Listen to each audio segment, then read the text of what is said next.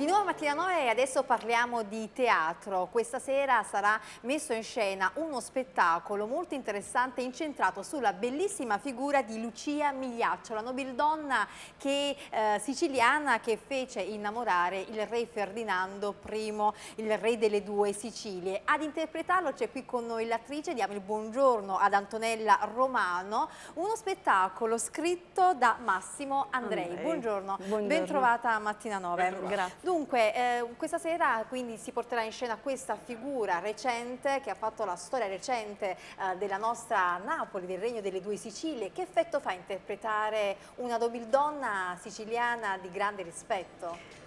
Allora, c'è da dire che mh, io ho incontrato Lucia Migliaccio per eh, un progetto ehm, nato dal pensiero di Giulio Baffi, dove mh, praticamente eh, dava a ogni attore un monumento e un attore avrebbe dovuto creare una storia sul monumento. Sul monumento.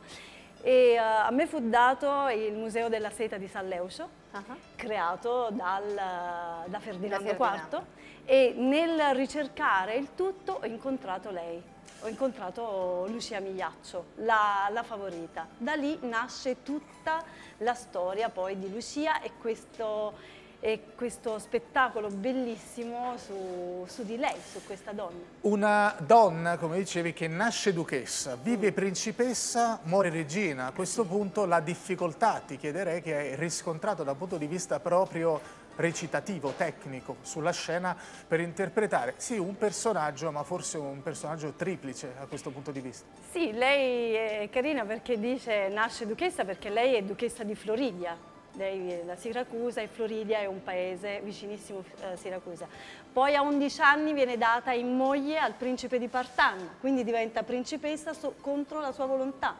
E poi alla fine diventa regina morganatica, ma per amore, diciamo così. Sì, perché, in lei realtà nasce- questo era un matrimonio morganatico, nel Sì. senso che lei non diventerà mai Non regina diventa per l'impossibilità Sì, ad perché non esserlo. ha lo stesso rango del, del re e quindi per questo è morganatica, ma è, eh, lei dà amore al re, a differenza di Maria Carolina. A differenza di Mar- Maria Carolina d'Austria perché lei è la prima moglie Sì. di Ferdinando mh, e, e diciamo anche che poi sortì anche un grande scandalo questo matrimonio perché a due mesi dalla morte di Carolina eh, lui decide Ferdinando di sposare, sposarla. comunque creando lo scandalo tra sudditi e anche eh, nobili. Poi Di- a quei di tempi, a quei insomma, quindi era- siamo- è molto attuale No, possiamo è, dire. è è attualissima, sì, anche perché poi c'è questa cosa strana, lei aveva qua- 44, 44 anni anni. quando sposa Ferdinando. All'epoca- lui era Quindi più nemmeno Sì. una giovincella, No, all'epoca appunto, sarebbe stata come all'epoca- oggi una sessantenne praticamente. Anche di più, anche 70. Eh, perché, eh sì, perché all'epoca praticamente una di 44 anni è, insomma, è abbastanza avanti con l'età. Diciamo E anche che la riesce- storia di questa donna ripercorre un po' le tracce, anzi lo fa eh, piazzando bene i piedi a a terra del eh, Regno delle Due Sicilie, quindi una storia che si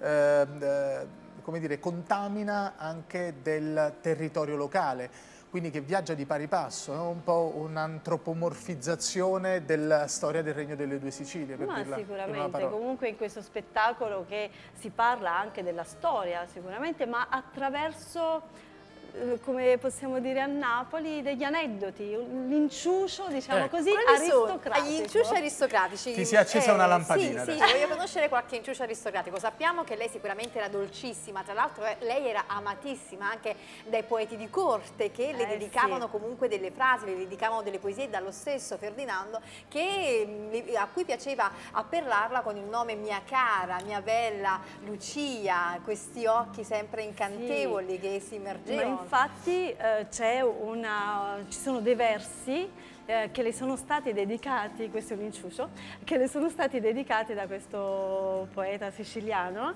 e si chiama proprio Ucchiuzzini, Ucchiuzziniuri, no? E lei eh, praticamente dice mh, che questi versi a cui non aveva dato tanto peso sono stati poi in seguito tradotti in tedesco da Goethe. Da Goethe, sì, è vero. E allora Anche lei Goethe. all'inizio dice, ma io manco gli avevo dato tanto peso a questo qua. Ma poi addirittura Wolfgang Goethe Decide tradu- di, eh di sì, tradurre i suoi versi, ma questo- com'era? Uno a caso. poi. Uno a casa, capito? Com'era Lucia? Sicuramente dolce e diversa da Carolina, ma nell'intimo, nel senso che nella vita, nel vissuto quotidiano, anche con i sudditi, com'era? Lei sicuramente era molto aperta, cioè era mm, eh, dolcissima, non so, ma una persona, ecco, ehm, Moderna, potremmo dire. moderna, anche perché lei dice bellissimo, io spero che insomma eh, qualcuno di voi venga a vedere lo spettacolo. Un po' ne stiamo già assaporando qualcosa adesso ma in diretta, perché ti vedo dice- già nel personaggio, eh. la vedo sì, felice, sì, contenta, è bello, è già nell'epoca. No, perché ecco, lei ecco, era una persona eh, felice, contenta, aperta, no? mai buia, cioè mai chiusa. È rivoluzionaria. Eh, sì, anche nel vestire, no? dice che lei va sempre molto scollacciata ed viene molto criticata per tutto ciò. Diciamo Ma dice- che Dei suoi abiti rivoluzionaria. sì, dei sì. suoi abiti scollacciati e dice ma è così che si usa per chi segue le belle maniere, la moda di Parigi. Lei era una molto alla Una cioè, donna dai vasti talenti, così viene descritta e potremmo forse dire, se mi consenti, una rivoluzionaria quindi del tempo. Anche, anche, anche. E lei dice una cosa anche molto bella, che quando Ferdinando la presenta ai nobili e ad altri sudditi viene molto accettata, viene molto... Era ben voluta, era, era amata ben voluta da, da tutti. E, a- a- e Ferdinando amava anche il fatto che lei potesse portargli fortuna, bene. Ma infatti è questo amore E questo che è amore che loro infatti saranno insieme per tutta la Sì, vita, fino alla ehm, fino alla morte. Lei morirà mi sembra dopo poco, poco dopo, Sì, dopo un eh, annetto sì, lei morirà. E però da questa unione, da questo matrimonio non na- nasceranno dei figli, No. eh, non ci saranno figli, però si, si ricorda di questo profondo amore tra i due. Tant'è vero, un amore possiamo dire che alla maniera poi di Ferdinando viene anche eh, rappresentato attraverso la dedica della villa, Della della collina del. Vomero che inizialmente era tutta agricola e poi all'interno viene anche eh, costruita questa villa in stile neoclassico, la Molto cosiddetta bella, villa floridiana. E questo è per esempio un qualcosa che dobbiamo ecco, regalare al nostro pubblico perché poi non tutti sanno questa No. informazione, No, non no, tutti no, no. conoscono che la villa floridiana in realtà è un, un dono dato, appunto, un dono di Ferdinando per, per lei. Infatti, Lucia Villa che nella coppia comandava assolutamente, questo ce lo puoi dire come aneddoto? Tu dici che comandava? Secondo me sì. Lei penso- lo lascia, lei E lo beh, lascia questa grande personalità, questa donna così rivoluzionaria, Guarda, in genere è così Lei era storia, molto, ma no- secondo me, rivoluzionaria, ribelle, ma molto intelligente, perché poi Ferdinando viene nominato il re Lazzarone, quindi comunque anche Eh. lui non è che aveva eh, un grandissimo epiteto, comunque gli piaceva la notte uscire, Ma certo, magari certo. essere un po' E lei modello, però dice lei invece sapeva tenerlo a bada. Sì, lei proprio su questo dice, "Mm, io a differenza della prima moglie che lo tormentava per tutto quello che le combinava, Ma lei era intelligente. Sì, io lo agire. lascio tranquillo, so Esatto. cosa, perché tanto prima o poi io lo vengo a sapere, che sia de- de- dell'avventuriera, della cantante, io so tutto e quindi cerco di lasciarlo stare, lasciarlo andare, ma poi so cosa deve fare. Placati dai tuoi inciuci, Antonella, adesso. Stai No, inciuciando troppo, troppo. adesso.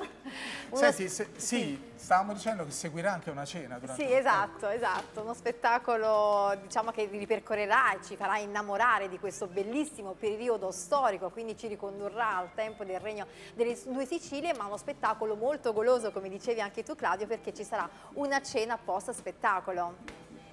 Ed è anche a tema, quindi chi arriverà assaggerà qualcosa di A molto tema? molto E quindi a tema Cioè, che vuol dire? pietanze- Eh, Siciliane. Ah, Sicilia. Eh beh, lei è siciliana e anche pietanze napoletane, quindi cioè, C'è questa regno delle unione, questo Sicilie- matrimonio sì, Napoli-Sicilia. Allora ricordiamo quindi lo spettacolo alle 20.30? E alle 21 puntuali. 20.30 devono 20 essere e lì. 30 devo- dovranno essere A lì, Villa di Donato? A Villa di Donato, questa meravigliosa Altrimenti non villa. cenate perché eh, finisce tutto prima, no? No, no, no, in no, la cena ci, Ah, ci dopo, sarà dopo, vero. Lucia Migliaccio, scritto da Massimo, da Massimo Andrei, Andrei, che salutiamo. che salutiamo, a cui io tengo molto. Bravo veramente. Massimo. Bravissimo Massimo, vero. perché ha reso eh, così mh, eh, fruibile, così alla portata questo personaggio, personaggio fresco, fresco, capisci? è attuale. un personaggio di... Beh, un po' lui anche così, È po' no? lui. Perché lui Io è molto... Massimo da Geniale, simpatico. geniale e la capacità sua ecco, di far arrivare in maniera diretta, Sì. eh, simpatica, attraverso il racconto, attraverso il racconto. e attraverso proprio il, il trasmettere un sentimento d'amore. Ma Antonella quanto ha di Lucia? Ehm, ab- abbastanza, abbastanza. Grazie allora Grazie. ad Antonella Romano, una splendida attrice che interpreterà il personaggio di Lucia Migliaccio, questa donna rivoluzionaria che ha un po' eh, raccontato la storia del Regno delle Due Sicilie. Grazie. Complimenti, veramente complimenti. Brevissimo spazio pubblicitario e poi di nuovo nel salotto di Mattina 9.